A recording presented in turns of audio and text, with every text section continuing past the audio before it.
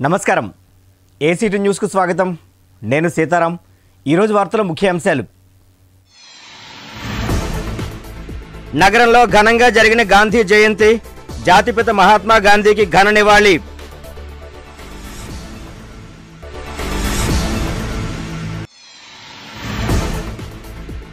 ఆసుపత్రి రోగుల సేవలో రోబో మందులిచ్చే రోబోను ఆవిష్కరించిన రైల్వే సిబ్బంది.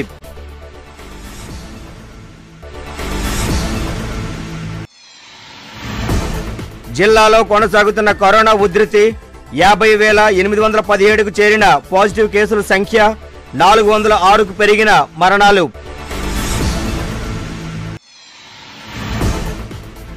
సాగర్ తీరంలో మారుమోగుతున్న I am saving my beach నినాదం బీచ్ పరిరక్షణకు ముందుకొచ్చిన పర్యాటకులు.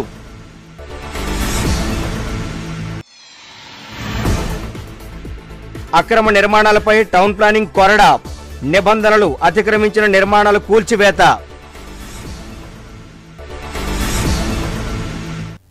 ఇక వార్తల్లోని వివరాలకు వెళ్దాం ఎంపీ విజయసాయిరెడ్డి ఆధ్వర్యంలో గాంధీ జయంతి వేడుకలు ఘనంగా నిర్వహించారు. జీవీఎంసీ వద్ద గాంధీ విగ్రహానికి పూలమాలలు వేసి నివాళులర్పించారు. అనంతరం వైసీపీ స్టూడెంట్స్ యూనియన్ అధ్యక్షుడు కాంతారావు ఆధ్వర్యంలో ఏర్పాటు చేసిన బియ్యం ప్యాకెట్లను పేదలకు పంపిణీ చేశారు. ఈ కార్యక్రమంలో GVMC commissioner doctor G Srujana MP MVV Satyanarayana MLA Vasupalli Ganesh Kumar YCP నగర అధ్యక్షుడు వంశీకృష్ణ శ్రీనివాస్ యాదవ్ సమన్వయకర్తలు కేకే రాజు అక్రమాణి విజయ నిర్మల తదితరులు పాల్గొన్నారు.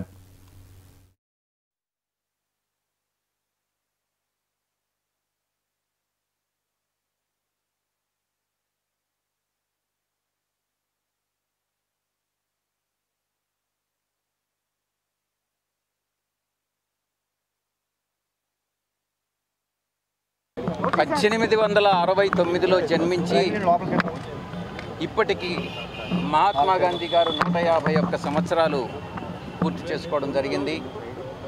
ఇప్పటికీ కూడా భారతదేశంలో ఉన్నటువంటి ప్రతి పౌరుడికి ప్రతి బిడ్డకి కూడా గాంధీ గాంధీజీ గారి గురించి పాఠ్యాంశాల్లో పొందుపరుచుకున్నాము అని అంటే ఆయన దేశానికి చేసినటువంటి మహత్తరమైనటువంటి సేవ భారతదేశానికి స్వాతంత్రం రావడంలో ఒంటి కాలితో పోరాడినటువంటి గొప్ప మహనీయుడు మహాత్మా గాంధీ. మనమే కాదు ప్రపంచ దేశాల్లో ప్రతి ఒక్క ప్రపంచ నాయకుడు ప్రతి ఒక్క దేశాధ్యక్షుడు కూడా మహాత్మా గాంధీ గారిని తరచుగా స్మరించుకుంటూ ఉంటారు. ఎందుకనంటే ఆయన ప్రతిపాదించినటువంటి రచించినటువంటి అహింసావాదము సత్యాగ్రహము అన్నటువంటిది సత్యాన్నే మాట్లాడాలి అన్నటువంటి రెండు సిద్ధాంతాలు ఒక భారతదేశంలో కాదు మా- మొత్తం మానవాళికే ఆ సిద్ధాంతాలు వర్తిస్తాయి కాబట్టి ఆయన్ని ఈరోజు ప్రపంచంలో ప్రతి ఒక్కరూ కూడా గుర్తు చేసుకోవడం జరుగుతూ ఉంది. ఆయన ప్రతిపాదించినటువంటి సిద్ధాంతాలు ఈరోజు వైఎస్ఆర్ కాంగ్రెస్ పార్టీ తూచా తప్పకుండా పాటిస్తూ ఉంది. ప్రతి ఒక్కరికి సేవ చేయాలి అన్నటువంటి సిద్ధాంతాన్ని నమ్ముతూ మన గౌరవ ముఖ్యమంత్రి గారు ఈరోజు జగన్మోహన్ రెడ్డి గారు అందిస్తున్నటువంటి పరిపాలన ఆయన యొక్క పథకాలని యావత్ భారతదేశం కూడా మిగతా రాష్ట్రాలందరూ కూడా దాన్ని ఆదర్శంగా తీసుకొని గాంధీ గారి సిద్ధాంతాలకు అనుగుణంగా ఆయన వ్యవహరిస్తున్నటువంటి ఆయన పరిపాల అందిస్తున్నటువంటి ఈ పరిపాలనని ప్రతి ఒక్కరూ కూడా మెచ్చుకుంటున్నారు. భవిష్యత్తులో కూడా ఇదే రకంగా మనం ముందుకెళదామని మీ అందరికీ కూడా తెలియజేసుకుంటూ మీకు సెలవు మీకు జీవీఎంసీకి ఇంకా ఎందుకు ముఖ్యం అంటే ఇది స్వచ్ఛ భారత్ కూడా వారి పేరు మీదనే ఆదర్శాలకి అనుగుణంగానే తీసుకున్నది కాబట్టి వారి ఆశయాలు ఆదర్శాలు అన్నీ కూడా ప్రతి ఒక్క కార్యక్రమంలోనూ పూర్తిగా నిబిడీకృతం చేసుకుని మొక్కలు పెంచడం కావచ్చు లేదా చెత్త నిర్వహణ కావచ్చు ఒక గౌరవప్రదమైన జీవితాన్ని ప్రతి పౌరుడికి అందించడం కోసం చేయవలసిన ప్రతి కార్యక్రమాన్ని మనం వారి స్మృతి సందర్భంగా చేసుకుంటాము. ఈరోజు అదే సందర్భంగా మనం గౌరవ ఎంపీ ఇద్దరు సమక్షంలో కూడా ఈరోజు చెట్ ఒక లక్ష సీడ్ బాల్స్ని ఈరోజు నేవీ వారి సహకారంతో ప్రగతి భారత్ ఫౌండేషన్ సహకారంతో ఈరోజు మొత్తం ఎక్కడెక్కడైతే మొక్కలు హరించుకుపోతున్నాయో అక్కడంతా కూడా చల్లి పచ్చదనాన్ని పెంపొందించే కార్యక్రమంతో పాటు గురజాడ కళాక్షేత్రంలో కూడా చెత్త నిర్వహణ గురించి ప్రతి ఇంటికి ఒక శుభ్రమైన గౌరవప్రదమైన జీవితాన్ని అందించడం కోసం కార్యక్రమం ప్రభుత్వం తరపు నుంచి ఏమేమి చేపడుతున్నామో ప్రజలకి అవగాహన కార్యక్రమం కూడా ఏర్పాటు చేయడం జరిగింది. అందరూ కూడా జిల్లాలో కరోనా నిలకడగా సాగుతోంది. కేసుల నమోదులో వైరస్ దూకుడు తగ్గించడంతో ప్రజలు ఊరట చెందారు. అదే సమయంలో మరణాల సంఖ్యలోనూ రాజీ పడకపోవడంతో ఆందోళన చెందుతున్నారు. తాజాగా రెండు వందల డెబ్బై ఏడు మందికి ఈ వైరస్ సోకింది.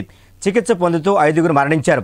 దీంతో మొత్తం కేసుల సంఖ్య యాభై వేల ఎనిమిది వందల పదిహేడుకు మృతుల సంఖ్య నాలుగు వందల ఆరుకు చేరింది.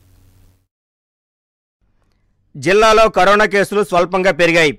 వైరస్ పట్టు విడుపులు ప్రదర్శిస్తూ ప్రజలను కలవరానికి గురిచేస్తోంది గురువారం మళ్ళీ కేసులు పెరగడంతో ప్రజల్లో గుబులు రేగుతోంది. తాజాగా రెండు వందల డెబ్బై ఏడు మందికి ఈ వైరస్ సోకింది. చికిత్స పొందుతూ ఐదుగురు మరణించారు. దీంతో మొత్తం కేసుల సంఖ్య యాభై వేల ఎనిమిది వందల పదిహేడుకు మృతుల సంఖ్య నాలుగు వందల ఆరుకు చేరింది. ఇదిలా ఉండగా ఇప్పటి వరకు నలభై ఆరు వేల ఆరు వందల ఏడు మంది కోలుకున్నారు. మూడు వేల ఎనిమిది వందల నాలుగు మంది వివిధ ఆసుపత్రుల్లో చికిత్స పొందుతున్నారు. జిల్లాలో కేసులు నమోదు కొంతవరకు తగ్గుతున్నప్పటికీ ప్రజలు అప్రమత్తంగా ఉండాలని వైద్యులు సూచిస్తున్నారు. జీవీఎంసీ పరిధిలో అనధికార నిర్మాణాలపై టౌన్ ప్లానింగ్ అధికారులు కొరడా జులిపిస్తున్నారు. అనుమతులు లేకుండా చేపడుతున్న నిర్మాణాలను గుర్తించి తొలగిస్తున్నారు. దీనిలో భాగంగా ఎనభై తొమ్మిదో వార్డు కొత్తపాలెం శివారు నగర మార్గంలోకి వెళ్ళే అనధికారికంగా నిర్మించిన దాబాను జోన్ సిక్స్ టౌన్ ప్లానింగ్ సిబ్బంది బిల్డింగ్ ఇన్స్పెక్టర్ ప్రమీల సమక్షంలో తొలగించారు. జీవీఎంసీ అనుమతులు లేకుండా నిబంధనలకు విరుద్ధంగా నిర్మాణాలు చేపడితే తగిన చర్యలు తప్పవని అధికారులు హెచ్చరించారు. అలా గట్టి కట్టారా? Nine two one? Zero nine four two. Zero nine four two. WhatsApp permission పెట్టుకుని ఏం పెట్టుకోండి ఇది అలకం అయిపోయింది బాగా ప్రతి ఒక్కరు నేను నేను అంతమంది ఫోన్ చేయించుకున్నాను అతను కనీసం ఒకరి మీద ఒకరు చేసుకుంటే కావాలంటే నేను కాపలా ఉంటాను కృష్ణ గారు. ఏం పెట్టారండి? ఎవరు పెట్టారండి? ఒక్కరు కూడా ఇప్పుడు వచ్చి రెస్పాండ్ అవుతుంది వీళ్ళేమో పేపర్ తెలుగుదేశం పార్టీకి మరో ఎమ్మెల్యే గుడ్ బై చెప్పనున్నారా? ప్రస్తుత రాజకీయ పరిణామాలు చూస్తే అవునని అనిపిస్తోంది. నగరానికి చెందిన నలుగురు టీడీపీ ఎమ్మెల్యేల్లో ఇప్పటికే ఒకరు పార్టీని వేడగా మరొకరు అదే బాటలో నడిచేందుకు రంగం సిద్ధం చేసుకుంటున్నట్లు సమాచారం.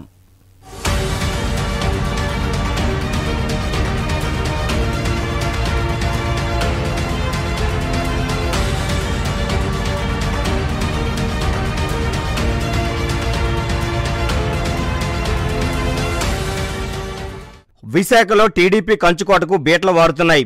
పార్టీ నుండి గెలిచిన నలుగురు ఎమ్మెల్యేల్లో ఒకరు ఇప్పటికే పార్టీని వీడారు.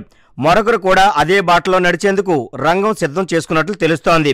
టీడీపీ నుండి గెలిచిన ఇరవై మూడు మంది ఎమ్మెల్యేల్లో నలుగురు ఇప్పటికే జగన్మోహన్ రెడ్డి వెంట నడుస్తుండగా ఇప్పుడు విశాఖ నార్త్ నియోజకవర్గం ఎమ్మెల్యే గంటా శ్రీనివాసరావు వైసీపీ మద్దతుదారుగా నిలిచేందుకు సిద్ధమైనట్లు సమాచారం. శనివారమే జగన్మోహన్ రెడ్డిని కలవనున్నట్లు తెలుస్తోంది. దక్షిణ నియోజకవర్గం ఎమ్మెల్యే వాసుపల్లి గణేష్ కుమార్ తరహాలోనే గంటా శ్రీనివాసరావు కూడా ముందుగా కుమారుడికి వైసీపీ కండువా కప్పేందుకు రంగం సిద్ధం చేసుకున్నట్లు తెలుస్తోంది. ఎమ్మెల్యే పదవికి ఢోకా లేకుండా కేవలం ముఖ్యమంత్రికి తన మద్దతు తెలిపేలా పక్కా వ్యూహంతో ముందుకు సాగుతున్నట్లు సమాచారం. ఎమ్మెల్యేగా గెలిచిన కొద్ది రోజుల నుండే అధికార పార్టీలోనికి వెళతారనే ప్రచారం జోరుగా జరిగింది. కానీ ఆయన మాత్రం పార్టీని మారనని చెబుతూ వచ్చారు. ఓ దశలో వైసీపీ తీర్థం పుచ్చుకునేందుకు ముహూర్తం కూడా ఖరారైనట్లు కూడా ప్రచారం గట్టిగానే జరిగింది. ప్రస్తుతం తన కుమారుడికి అధికార పార్టీ కండువా కప్పించేందుకు రంగం సిద్ధమైనట్లు తెలుస్తోంది.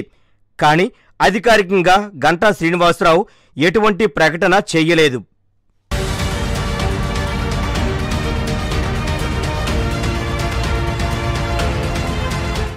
విశాఖలో వరుస చోరీలకు పాల్పడుతున్న నిందితులను పోలీసులు అరెస్ట్ చేశారు.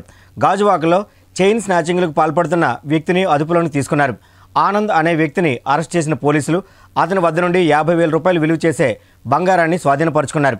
అదేవిధంగా నగరంలోని శాంతి భద్రతలపై దృష్టి సారిస్తున్న పోలీసులు అసాంఘిక శక్తుల ఆగడాలపైన ప్రత్యేక నిఘా పెడుతున్నారు. ఈ క్రమంలో చైన్ స్నాచింగ్లకు పాల్పడుతున్న వ్యక్తిని అదుపులోకి తీసుకొని వారి ఆగడాలకు చెక్ పెట్టారు. ఈ కేసుకు సంబంధించిన వివరాలు క్రైమ్ డీసీపీ సురేష్ బాబు మీడియాకు వెల్లడించారు.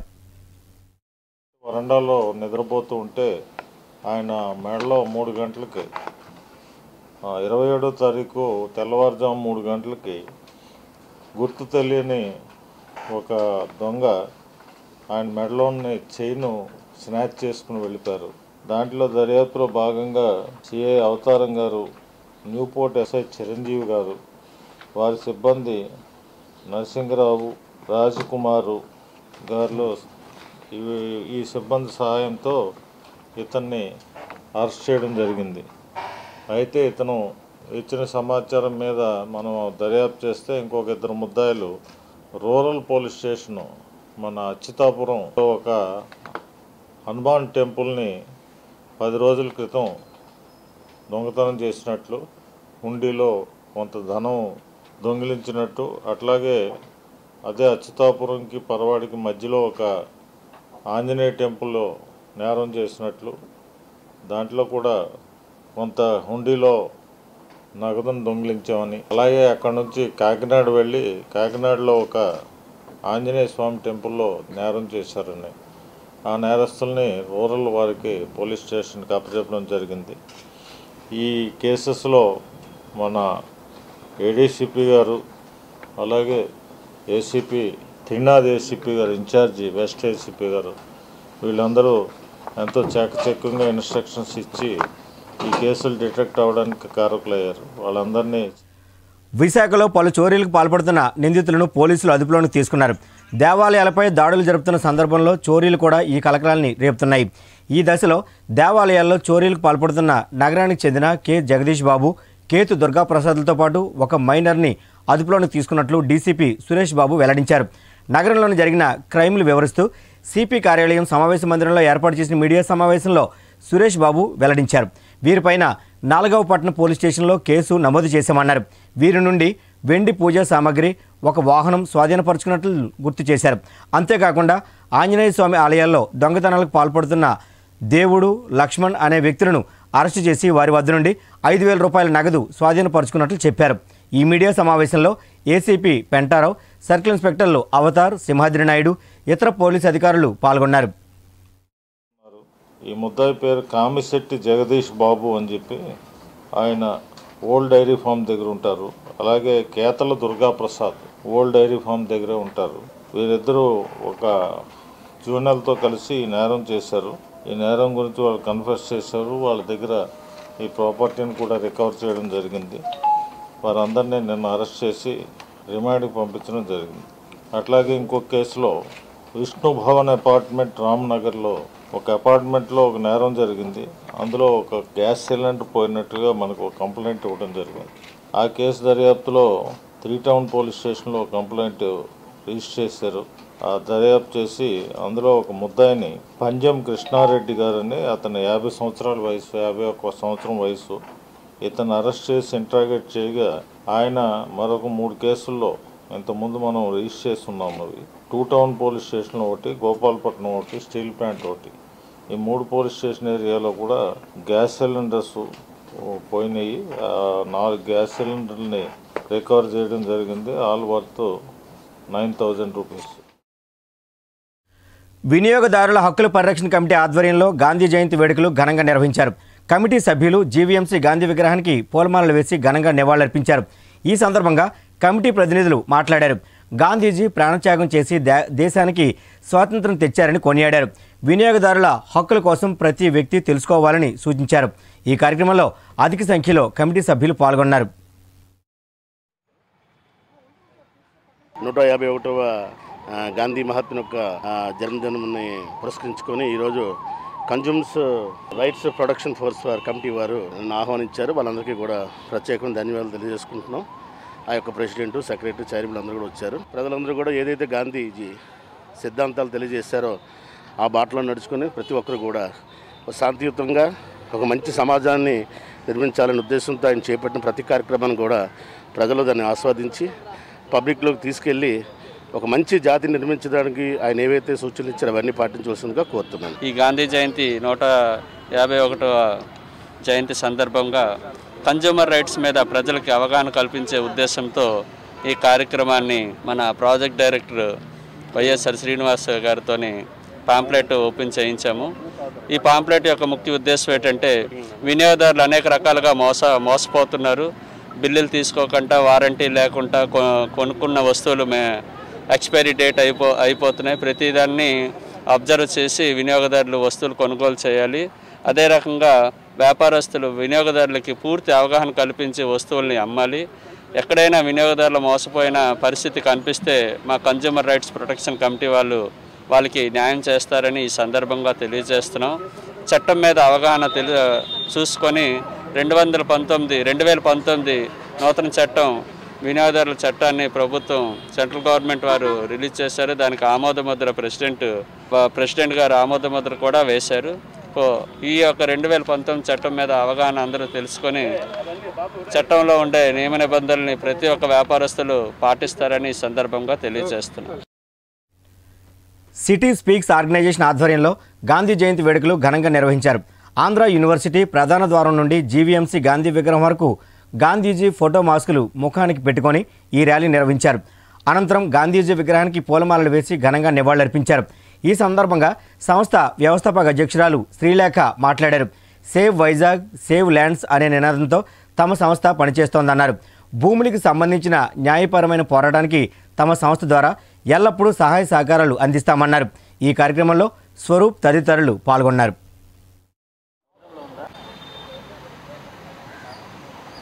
మాకు మనకి మంచి డెవలప్మెంట్ కావాలంటే దానికి ఒక డిస్ప్యూట్ ఫ్రీ ల్యాండ్ కావాలి. ఓ డిస్ప్యూట్ ఫ్రీ ల్యాండ్ కావాలంటే ఫస్ట్ మనం ఎవరెవరైతే నష్టపోయారో వాళ్ళని గుర్తించాలి. ఎవరైతే ఈ ప్రాసెస్లో పాల్గొ పాల్గొకుండా నించుంటున్నారో వాళ్ళు కూడా వచ్చి పాల్గొగాలి. ఎందుకంటే ఒకళ్ళో ఇద్దరు నష్టపోవట్లేదు. ఇక్కడ మధ్యతరగతి కుటుంబాలు plus lower income group slum ఏరియాస్లో ఉన్న వాళ్ళు చాలానే నష్ట ఈ ప్రాసెస్లో మా ఉద్దేశం ఒకటే అందరూ కలిసి ఒక డైలాగ్ క్రియేట్ చేయాలి. ఎస్ఐటి గవర్నమెంట్ ఏం చేయాలి చేయట్లేదని కాదు గవర్నమెంట్ కూడా చేస్తుంది. ల్యాండ్ని డిస్ప్యూట్ ఫ్రీ చేయాలని రీసర్వే చేయాలని రకరకాల పాలసీస్ కూడా నిర్మిస్తున్నారు. కాకపోతే మా ఉద్దేశం ఏంటంటే యువత దీంట్లో పాల్గొంటే ఇంకా ప్రాసెస్ ఫాస్ట్గా అవుతుంది ఫేర్ అవుతుంది ట్రాన్స్పరెంట్ అవుతుంది ఇంక్లూజివ్ అవుతుంది. సో మేము చిన్న middle class families and lower middle class families మా కుటుంబాలన్నీ అంతే. అండ్ మేము మా గురించి నించుంటున్నాం అందరి గురించి నించుంటున్నాం సో దట్ డెవలప్మెంట్ అనేది స్మూత్గా జరిగి మన వైజాగ్ ఇంకా అభివృద్ధి చెందాలని. గీతం యూనివర్సిటీ చైర్మన్ తెలుగుదేశం పార్టీ నాయకుడు శ్రీభరత్ ఆధ్వర్యంలో గాంధీ జయంతి వేడుకలు ఘనంగా నిర్వహించారు. జీవీఎంసీ వద్ద గాంధీ విగ్రహానికి పూలమాలలు వేసి ఘనంగా నివాళులర్పించారు. ఈ సందర్భంగా ఆయన మాట్లాడుతూ గాంధీజీ జయంతి రోజైన ఈ రోజే తన తాత దివంగత ఎంవివిఎస్ మూర్తి వర్ధంతి అని చెప్పారు. గాంధీజీ సేవలను కొనియాడారు. అక్టోబర్ రెండో తారీఖు మన మహాత్మా గాంధీ గారు అండ్ లాల్ బహదూర్ శాస్త్రి గారి జయంతి సందర్భంగా అంతేకాకుండా మా తాతగారు మూర్తి గారు కూడా అమెరికాలో అక్టోబర్ ఫస్ట్ చనిపోవడం జరిగింది. సో యాక్చువల్గా ఇది ఆయన రెండో వర్ధంతి ఇండియా టైం ప్రకారం. సో ఇవాళ దినం చాలా ముఖ్యమైన దినం. నాకు ప్రత్యేకంగా గాంధీ గారు విలువలు గుర్తు చేసుకుని నా జీవితంలో అది ప్రజా జీవితం అవనివ్వండి లేకపోతే గీతం విశ్వవిద్యాలయంలో కూడా ఆయన విలువల్ని మనం ఇవాళ సమాజంలో అందరికీ చేయాలి అందరు పాటించాలి అనేది చాలా ముఖ్యమైన దినం ఇవాళ. గాంధీ గారు దేనికోసం నిలబడేవారు? ఇంగ్లీష్లో అనేవారు ఇప్పుడు నేను తెలుగులో చెప్తాను. ట్రూత్ అంటే నిజం అహింస అంటే నాన్ వైలెన్స్ బట్ ఇవాళ నాన్ వైలెన్స్ అంటే ఫిజికల్గా ఒకరిని కొట్టడం గురించి కాదు. ఇవాళ అంతా డిజిటల్ అయిపోయింది కోవిడ్ వచ్చిన తర్వాత. ఆన్లైన్ ఫోరమ్స్లో ఇప్పుడు చాలామంది నెగిటివ్గా ట్రోల్ చేయడం మొహం లేదని చాలా అసభ్యమైన పదాలు పదాలు వాడటం. అది కూడా హింస కిందే లెక్క. దాన్ దాంట్లో కూడా మనం అహింస పాటించాలనేది వీళ్ళందరం గుర్తు చేసుకోవాలి. హ్యూమన్ రైట్స్ కౌన్సిల్ ఆధ్వర్యంలో గాంధీ జయంతి వేడుకలు ఘనంగా నిర్వహించారు. జీవీఎంసీ ప్రధాన కార్యాలయం వద్ద గాంధీ విగ్రహానికి కౌన్సిల్ రాష్ట్ర ప్రధాన కార్యదర్శి మంత్రి శ్యాంప్రసాద్ పూలమాలలు వేసి ఘనంగా నివాళులర్పించారు. ఈ సందర్భంగా మంత్రి శ్యాంప్రసాద్ మాట్లాడుతూ గాంధీజీ తెచ్చిన స్వరాజ్యాన్ని పౌరులంతా తమ హక్కుల ద్వారా సాధించుకోవాలని పిలుపునిచ్చారు. మానవ హక్కుల గురించి ప్రతి ఒక్కరూ తెలుసుకోవాలని సూచించారు. ఈ కార్యక్రమంలో కౌన్సిల్ జిల్లా సిటీ ప్రెసిడెంట్లు వివి గిరి మార్టిన్ సత్తార్ తదితరులు పాల్గొన్నారు.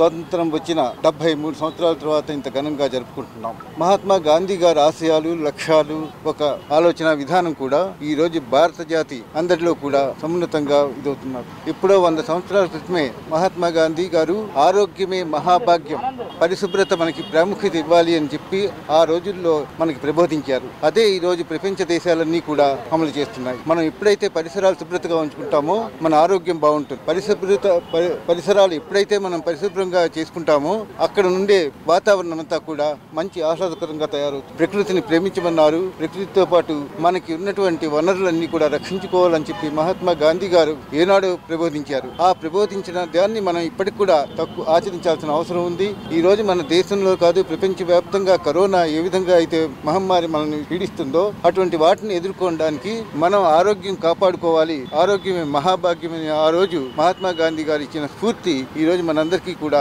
ఎంతో ఉదాత్తమై అవుతున్నది. తూర్పు నియోజకవర్గం ఎమ్మెల్యే వెలగపూడి రామకృష్ణబాబు ఆధ్వర్యంలో గాంధీజీ జయంతి వేడుకలు ఘనంగా నిర్వహించారు. జీవీఎంసీ వద్ద గాంధీ విగ్రహానికి పూలమాలలు వేసి ఘనంగా నివాళులర్పించారు.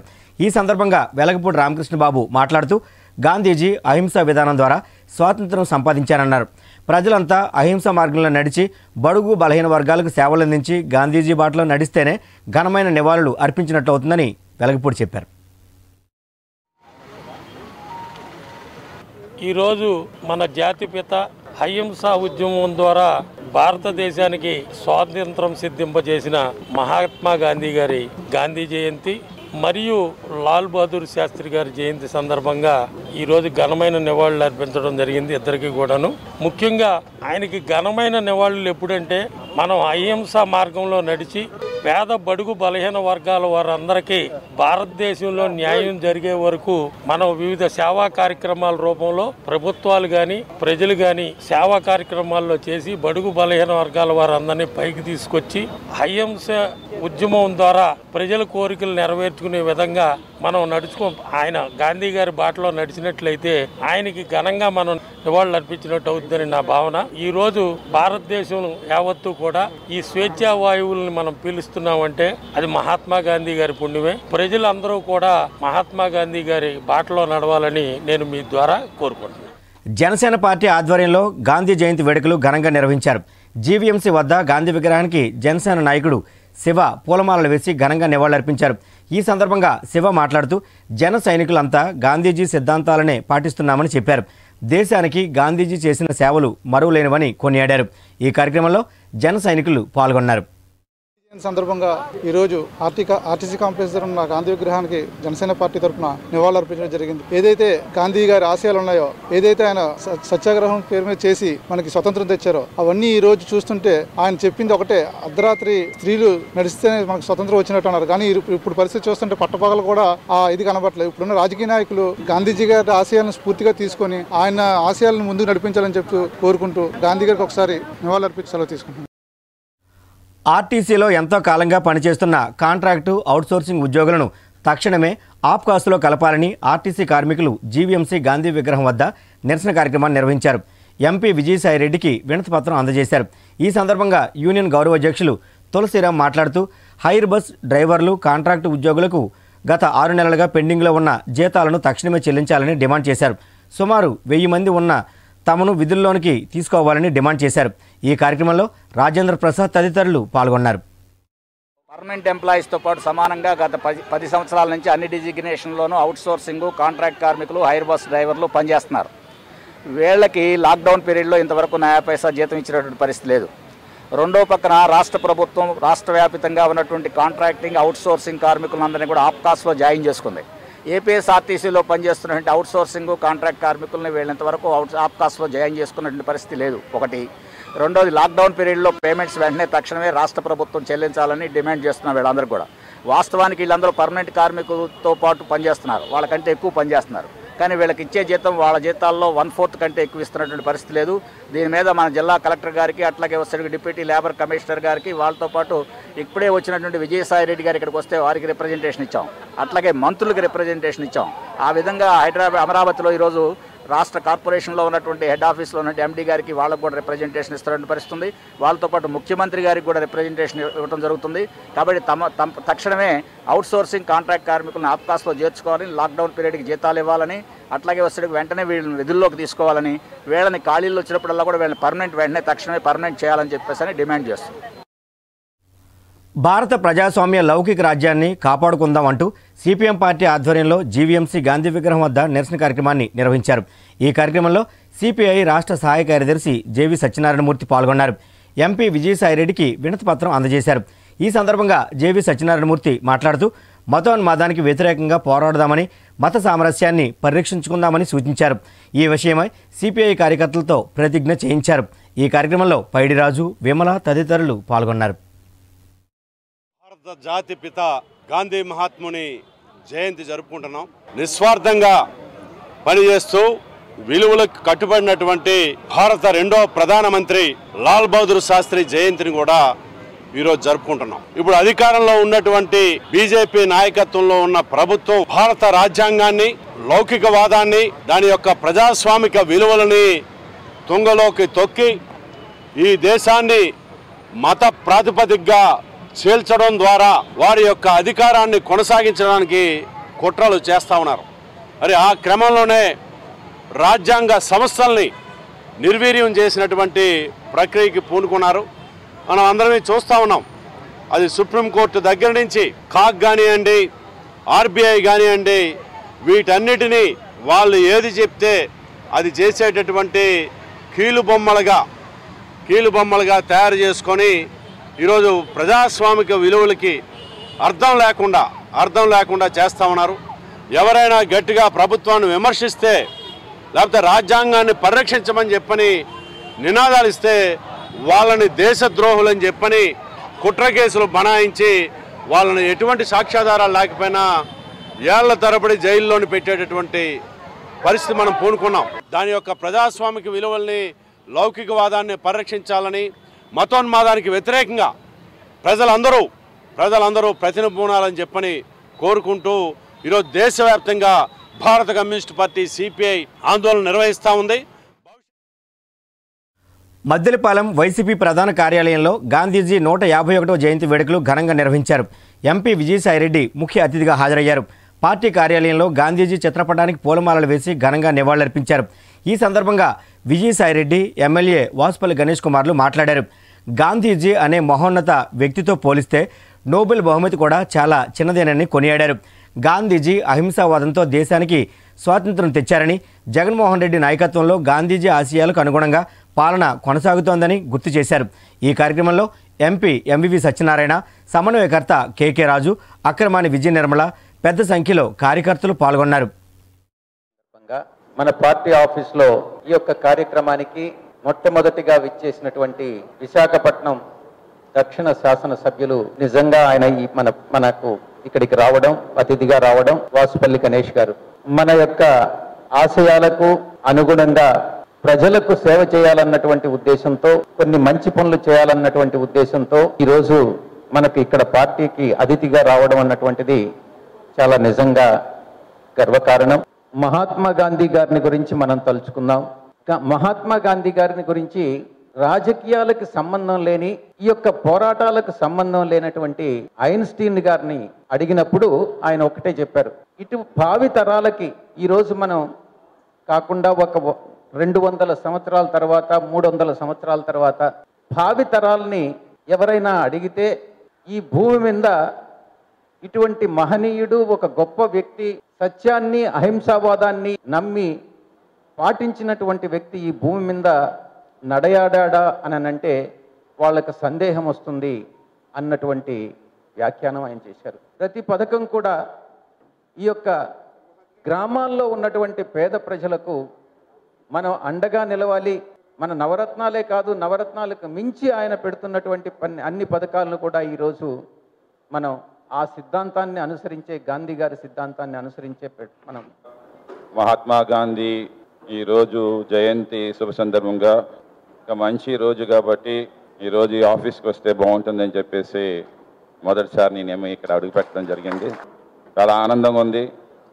ఒక మంచి కుటుంబంలోకి ఎలివేషన్ నాకు ఇచ్చినందుకు ప్రత్యేకంగా జగన్మోహన్ రెడ్డి గారికి నాకు నేను ప్రత్యేకంగా జన్మ జన్మ రుణపడి ఉంటానని చెప్పేసి నేను తెలియజేసుకుంటున్నాను. రాష్ట్ర బడ్జెట్లో ప్రతి పైసా కూడా ఏ నాయకుడైనా సరే ఖర్చు పెట్టేటప్పుడు అతి జాగ్రత్తగా ఖర్చు పెట్టాలి నాయకుడా అని చెప్పేసి చెప్పడం అనమాట ఎందుకంటే ఆ ప్రతి పైసా కూడా అది పేదవాడికి సంబంధించింది. గొప్పవాడిది కాదు అది. ఈరోజు మనం చూస్తూ ఉన్నాము భారతదేశంలో ఏకైక పార్టీ వైసీపీ పార్టీ ఆ ప్రతి పైసా కూడా పేదవాడికి చేరజేస్తుందన్నమాట చెప్పడానికి కాదు ఇది ఏంటంటే మనసుతో చూసిన మాటలు ఇవన్నీ కూడా ఒక కేవలం పద్నాలుగు నెలలులోని వ్యవధిలోనే యాభై తొమ్మిది వేల కోట్ల రూపాయలు పేదరికానికి ఖర్చు పెట్టినటువంటి సంక్షేమానికి భారతదేశంలో ఏ పార్టీ కూడా లేదని చెప్పి నేనైతే స్వ గర్వంగా చెప్తానమాట ఆ ఒక ఎగ్జాంపుల్ ఈరోజేమో నేను ఈ వేదిక మీదకి రాగలిగానని చెప్పేసి మనసారా నేను ఆనందంగా చెప్తా అనమాట ప్రౌడ్గా చెప్తాను ఎక్కడైనా సరే. అందుకే నేను వచ్చినందుకు నేను ఎక్కడ కూడా తలదించుకోలే ఎందుకు పార్టీలు మారారని చెప్పి చాలామంది ఏమో ప్రశ్నిస్తారన్నమాట. కానీ గర్వంగా చెప్తామని ఏంటంటే పేదవాడికి ఏదైనా ఒక పార్టీ ఉందంటే ఆ పార్టీలో సర్వ్ చేయడమే నా యొక్క జన్మ అయిందని చెప్పేసి చెప్తానమాట తెలుగు శక్తి అధ్యక్షుడు బివి రామ్ జీవీఎంసీ వద్ద గాంధీజీ విగ్రహానికి పూలమాలలు వేసి ఘనంగా నివాళులర్పించారు. ఈ సందర్భంగా బివి రామ్ మాట్లాడుతూ భారతీయులంతా గాంధీజీ సిద్ధాంతాలు పాటించాలని సూచించారు. అమరావతిలోనే ఆంధ్రప్రదేశ్ రాష్ట్ర రాజధాని కొనసాగాలన్నారు. నూట యాభై జయంతి సందర్భంగా ఆ నివారణ జరిగింది. మేము ఒకటే ప్రశ్నిస్తున్నాం. గాంధీజీ గారి కలకడ స్వతంత్రం ఇదేనా అడుగుతున్నాం. మరి నాడు స్వతంత్రం రావాలని స్వార్థం నశించాలని కుల మత వర్గ వర్ణ విభేదాలు పోవాలని ఆనాడు పోరాడితే ఈనాడు కులం మతం దేశంతో ఇవాళ రాష్ట్రం రగిలిపోతుంది మనం చేస్తాం ముఖ్యంగా బ్రిటిష్ నిందితుల పాలన మించినట్టు ఉంది జగన్ పాలన. నేను ఒకటే కోరుతున్నాను. ఇప్పటికైనా రాష్ట్ర ప్రభుత్వాన్ని దయచేసి గాంధీజీ గారి కలకన్న ఆశయాన్ని అన్ని పార్టీలు కలిసి పోరాడాలి తప్ప ఇవాళ తమ స్వార్థం కోసం ఇవాళ ఆంధ్రప్రదేశ్ రాష్ట్ర నాశనం చేస్తారు ఇప్పటికైనా సరే ఆంధ్రప్రదేశ్ రాష్ట్ర రాజధానిగా అమరావతి ప్రకటించాలని చెప్పి ముఖ్యమంత్రి గారు డిమాండ్ చేస్తున్నాం. ఈ రోజు తెలుగు జాతిని మొత్తం నాశనం చేస్తున్నారు ప్రభుత్వం. దయచేసి ఇప్పటికైనా సరే అన్ని రాజకీయ పార్టీలు ఏకమై గాంధీజీ ఆశ కోసం పోరాడదాం. ఆంధ్రప్రదేశ్ రాష్ట్ర రాజధాని అమరావతిగా ఉండాలని చెప్పి తెలుగు మనస్ఫూర్తిగా కోరుకుంటుంది ఏసీటీ న్యూస్ ముగించే ముందు ముఖ్య అంశాలు మరోసారి. నగరంలో ఘనంగా జరిగిన గాంధీ జయంతి జాతిపిత మహాత్మా గాంధీకి ఘన నివాళి.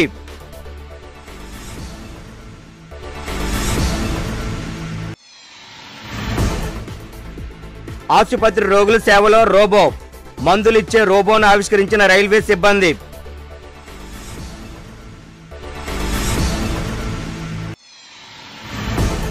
జిల్లాలో కొనసాగుతున్న కరోనా ఉధృతి యాభై వేల ఎనిమిది వందల పదిహేడుకు చేరిన పాజిటివ్ కేసుల సంఖ్య నాలుగు వందల ఆరుకు పెరిగిన మరణాలు.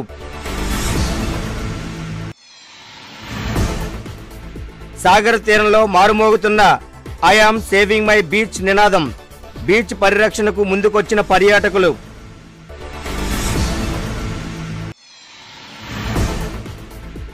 అక్రమ నిర్మాణాలపై టౌన్ ప్లానింగ్ కొరడా. నిబంధనలు అతిక్రమించిన నిర్మాణాలు కూల్చివేత. ఏసీటీ న్యూస్ ఇంతటితో సమాప్తం. నమస్కారం.